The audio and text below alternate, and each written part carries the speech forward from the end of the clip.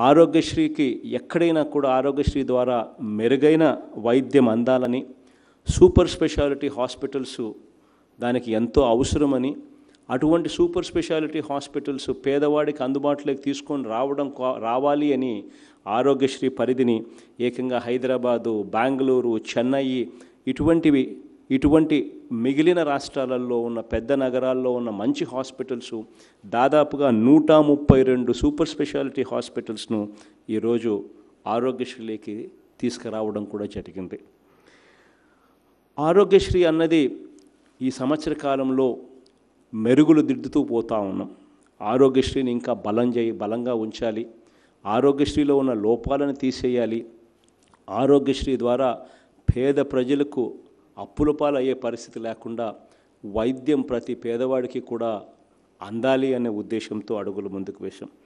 దాంట్లో భాగంగానే హాస్పిటల్స్ అన్నవి నెట్వర్క్ హాస్పిటల్స్ అన్నవి ఆరోగ్యశ్రీలో వెరీ ఇంపార్టెంట్ ఆస్పెక్ట్ అంటే ఆ రోజుల్లో నాకు బాగా గుర్తుంది.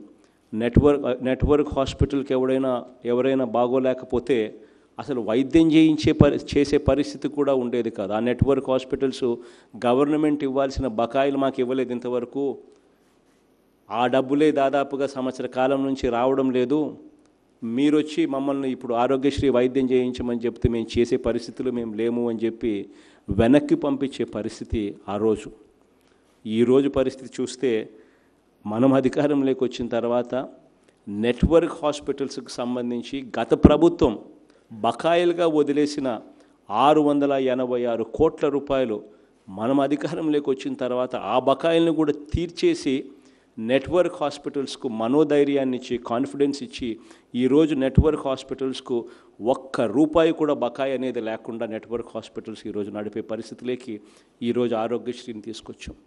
ఈ నెట్వర్క్ హాస్పిటల్లో ఈరోజు ఆరోగ్యశ్రీ పేషెంట్ ఎవడైనా పోతే బొట్టు పెట్టి హారతిచ్చి మరీ ట్రీట్మెంట్ ఇచ్చే పరిస్థితిలోకి చిరునవ్వుతో ట్రీట్మెంట్ ఇచ్చే పరిస్థితిలోకి ఈరోజు ఆరోగ్యశ్రీని తీసుకుపోయాం. ఈ నెట్వర్క్ హాస్పిటల్స్లో కూడా క్వాలిటీ ఉండేట్టుగా చూసుకు చూసి చూడాలి అనే తపనతో ఈ నెట్వర్క్ హాస్పిటల్స్ అన్నిటికీ కూడా గ్రేడింగ్స్ కూడా చేశాం. A plus grading A grading B grading అని చెప్పి కూడా పెట్టాం. ఈ బి గ్రేడింగ్లో ఉన్న హాస్పిటల్స్ ఏదైతే ఉన్నాయో ఆరు నెలల లోపు ఇవన్నీ ఫెసిలిటీస్ కూడా ఆరోగ్యశ్రీ పరిధిలోకి తీసుకో మీ హాస్పిటల్స్లోకి తీసుకొని రావాలి. ఇవన్నీ ఆరు నెలల లోపల తీసుకొని రాకపోతే మిమ్మల్ని ఆరోగ్యశ్రీ పరిధిలో నుంచి తీసేస్తాం.